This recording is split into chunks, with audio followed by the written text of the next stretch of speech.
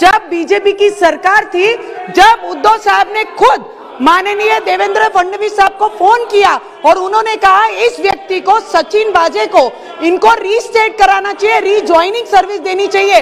तब आदरणीय फडणवीस साहब ने उन्होंने स्पष्ट नकार दी। उनकी पूरी हिस्ट्री देखते बराबर उन्होंने नकार देते हुए उन्हें ज्वाइनिंग नहीं कराई। जिस दिन उद्धव ठाकरे की सरकार आई, ठाकरे सरकार चेयर पे बैठे, उसी वक्त परम सिंह जी को फ़ोन करके उन्होंने पहला काम कराया कि सचिन वाजे को ज्वाइन करवाइए। मुझे बताइए, आप सचिन वाजे के कारण परमवीर सिंह को सस्पेंड कराते हैं उनकी बदली करवाते हैं। मुझे आपसे एक विनंती करना है कि गृह मंत्री का नाम आ रहा है। अध्यक्ष महोदय बहुत इंपॉर्टेंट सब्जेक्ट है। अगर इस तरीके से देश में खंडनी वसूली का चक्कर शुरू हुआ तो पूरे देश में ये चीज़ों को फॉलो किया. जाएगा। मैं आपसे विनंती करती हूँ।